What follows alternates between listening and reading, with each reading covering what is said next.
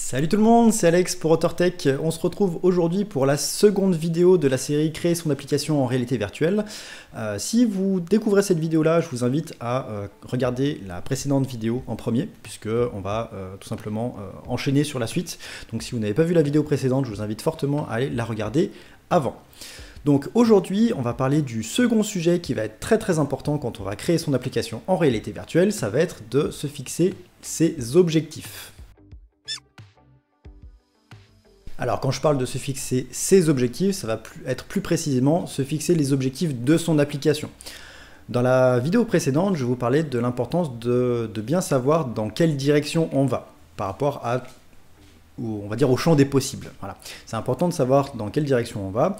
C'est important du coup, une fois qu'on a donné une, bonne direction, de se dire, voilà, qu'est-ce que je veux développer vraiment précisément? Et ça, ça passe par le fait de se poser quelques questions pour fixer les objectifs de votre application. Selon ce que vous allez vouloir mettre en place, euh, que ce soit un jeu vidéo, que ce soit euh, pour, euh, pour du divertissement divers et varié, pour de la visite, pour de l'apprentissage, pour de la formation, vous allez avoir différents contextes et vis-à-vis de ces différents contextes, vous allez avoir des objectifs différents. Et l'un des, points qui est assez important, c'est de vous dire, quand vous commencez un projet, il faut vous dire quels sont les objectifs que je veux atteindre avec cette application. Mettez-vous à la place de la personne qui va, euh, enfin une des personnes qui va utiliser votre application et vous dire, ben voilà, après avoir utilisé cette application, que ce soit un jeu ou autre chose, hein, peu importe, qu'est-ce que je voudrais atteindre comme objectif? Est-ce que euh, je veux faire ci, est-ce que je veux faire ça, et ainsi de suite. Voilà, ça, ça va vous donner une bonne base de départ à partir de laquelle vous allez pouvoir euh, vous poser encore plus de questions. Parce que oui, à cette phase-là, vous allez vous poser des questions, beaucoup de questions, beaucoup, beaucoup, beaucoup de questions. Et honnêtement, plus vous vous poserez de questions sur cette phase de, recherche, de, pause du, du, projet, moins vous aurez de problèmes sur la suite. Parce que vous aurez eu le temps de, réfléchir à ces différentes problématiques et de, donner une direction claire en fait à votre application. Ok, premier exemple. Imaginons que, euh, on va prendre un cas très très euh, classique. Imaginons que vous vouliez créer un jeu d'horreur en réalité virtuelle. Donc là, si on commence à se poser les questions euh, en termes d'objectifs et de, résultats à atteindre, ça va être bah déjà faire peur aux joueurs et ça pourrait être de se dire faire en sorte que le jeu soit suffisamment prenant pour que malgré le fait que ça soit un jeu qui fasse peur, le joueur ait quand même envie d'aller au bout de l'histoire. Donc vous voyez que ça, ça va être un jeu qui va être quand même assez bien défini en termes de, direction. Malgré ça, vous, pouvez imaginer que si je donne ce pitch euh, à euh, vous, euh, développeurs de jeux vidéo qui regardez cette vidéo, vous pourriez me sortir tous un jeu différent. Par contre, le ressenti et l'objectif, ça, va être le même. Donc vous avez cette première, ce premier listing. Maintenant, on pourrait se dire comment est-ce qu'on va faire pour faire en sorte que le jeu fasse peur? On peut mettre des jumpscares, on peut mettre une ambiance malaisante, on peut mettre des sons grinçants, on peut mettre plein de choses comme ça. Donc vous voyez, on peut commencer à détailler. Euh, pour le coup, euh, j'ai partagé une vidéo euh, précédemment dans laquelle je parle de en quoi la réalité virtuelle marche très bien pour les jeux d'horreur. Je vous invite à aller regarder cette vidéo. Pour revenir sur le jeu d'horreur, on avait le deuxième objectif qui est de se dire bah, le joueur est tellement pris dans l'histoire qu'il va quand même continuer à jouer même s'il a peur. Donc là on pourrait se dire comment est-ce que je vais faire en sorte que le joueur reste malgré tout? Eh bien ça pourrait passer par exemple par une histoire qui est captivante, c'est-à-dire que on va vraiment donner envie au joueur de, euh, surmonter sa peur pour euh, connaître la suite de l'histoire.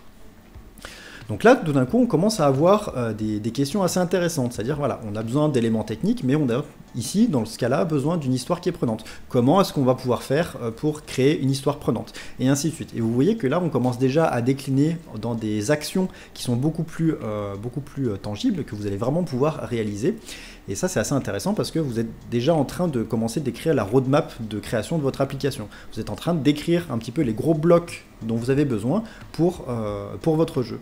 Je vous donne un second exemple pour euh, illustrer euh, ce, ce concept-là. Imaginez que vous vouliez faire une application pour former des boulangers admettons, et que vous vouliez apprendre à des boulangers à pétrir le pain, à faire les actions dans l'ordre, bien préparer la pâte en amont, et ainsi de suite. Donc là, vous pourriez vous dire, bah, mon objectif, qu'est-ce que c'est? Mon objectif, c'est de faire en sorte que bah, l'apprenti boulanger qui, qui essaye l'application, eh bien, il ait appris des choses. Il a appris les process à appliquer, il a appris euh, les, mouvements à faire pour pétrir la pâte euh, correctement. Alors évidemment, maintenant, il y a des, pétrisseuses euh, automatiques, mais bon, passons ce détail-là. Voilà, on, a ces objectifs de dire, voilà, il faut que la personne, elle, euh, se souvienne de ses mouvements. Donc, de quoi on va avoir besoin pour faire ça? On va avoir besoin euh, d'un scénario pédagogique de dire, ben voilà, étape par étape, qu'est-ce qu'il faut euh, faire euh, dans le métier de boulanger pour euh, partir de la farine jusqu'au pain qui est cuit. Et de découper ensuite, construire le scénario pédagogique et de se dire à quel moment il va falloir mettre l'accent. Donc là, on va aller encore dans un sous-niveau. Pour la partie de la création de la pâte, qu'est-ce qu'il faut faire Pour la partie pétrissage, qu'est-ce qu'il faut faire Pour la partie, je sais pas, paramétrage du four ou vérification que le pain est cuit, qu'est-ce qu'il faut faire Et ainsi de suite. Et on peut aller comme ça dans le détail pour, pour définir un petit peu tout ça on va avoir aussi des questions de se dire bah, quel genre d'interaction je vais avoir besoin pour que ça soit relativement réaliste. Voilà. Qu'est-ce que je peux mettre en place? Est-ce que je vais utiliser du hand tracking? Est-ce que je vais utiliser des contrôleurs? Est-ce que je vais mettre en place différentes choses? Vous pouvez aller vous poser des questions comme ça et petit à petit, vous allez arriver de, de, plus en plus vers des, vers des choses très techniques. Vous allez partir de, questions très abstraites et à chaque fois, en vous posant des questions, vous allez petit à petit euh, réduire euh, un petit peu comme un entonnoir en fait, jusqu'au moment où vous allez arriver vraiment sur des tâches très techniques en mode, euh, bah voilà, il faut, il faut coder ça, il faut faire ci, il faut créer un modèle 3D et ainsi de suite. Voilà, du coup, se poser ces questions-là au tout début de votre projet, c'est hyper important parce que ça va vraiment vous permettre de cartographier vraiment le, de faire un plan général de votre application et de vous dire bah voilà dans quelle direction je veux aller. Concrètement, on peut faire tout un tas d'applications en réalité virtuelle. Euh, mais selon l'angle que vous allez prendre pour euh, aborder cette application-là, eh ben, ça va avoir un résultat qui est différent. C'est ce que je vous disais tout à l'heure. Vous pouvez partir d'une même idée, par exemple, faire un jeu d'horreur euh, avec des zombies. C'est assez, assez large comme concept, mais selon l'angle que vous allez utiliser pour aborder ce sujet, eh ben, ça va être une expérience qui va être complètement différente. Vous pourriez faire le jeu d'horreur en mode euh, plus, euh, par exemple, en mode Left 4 Dead. Alors je sais, c'est un très vieux jeu euh, où vous avez des hordes de zombies qui vous font dessus et à ce moment-là, c'est plus de l'action peur. Ou vous pourriez partir plus sur un mode, un genre Resident Evil, où vous avez vraiment une, une, ambiance un petit peu oppressante, où vous avez peu de balles et vous devez faire attention à ce que vous faites. Et du coup, ça, c'est vraiment la question de vous dire par quel angle vous allez aborder le sujet, quel est l'objectif que vous voulez atteindre via cette application-là. Et tout ça, vous pouvez y, répondre en, euh, bah, en, listant euh, ces objectifs et en vous posant ces questions-là au démarrage du projet. Si vous ne le faites pas au démarrage, vous allez euh, commencer à partir dans la production et vous allez faire des zigzags un petit peu dans tous les sens et le résultat que vous allez avoir à la fin, c'est quelque chose qui va pas être cohérent. Le joueur ou l'utilisateur va avoir l'impression que bah il y a plein d'idées intéressantes mais c'est pas cohérent, ça va pas dans une vraie direction et euh, le, résultat, le ressenti va être très mitigé parce que vous n'aurez pas un sentiment très fort auprès de l'utilisateur. Maintenant, le fait de vous poser ces questions-là et de commencer à lister des, actions associées, ça ne veut pas dire qu'il faut que ça soit gravé dans le marbre. Ce genre de questions, c'est une bonne façon de vous diriger euh, lorsque vous êtes en plein dans la production. Mais de temps en temps, ça peut valoir le coup de vous reposer ces questions et de vous dire, bah, après avoir testé certaines choses, euh, potentiellement des, des, postulats que vous aviez faits au départ ne sont plus valides, et à ce moment-là, il va falloir les adapter un petit peu.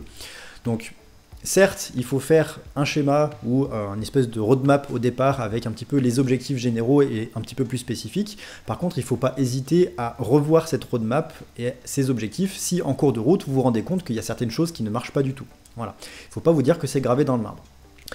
C'est tout pour cette vidéo, merci de l'avoir regardé jusqu'au bout, j'espère que ça vous aura appris 2-3 choses pour bien développer votre application. Mettez un like, ça serait super cool. Euh, si vous avez des questions par rapport à tout ça, mettez un commentaire, on y répondra. Si vous n'êtes pas abonné, abonnez-vous et cochez sur la petite cloche pour avoir les notifications. Sur ce, je vous dis portez-vous bien, développez bien et on se retrouve la semaine prochaine pour une prochaine vidéo. A bientôt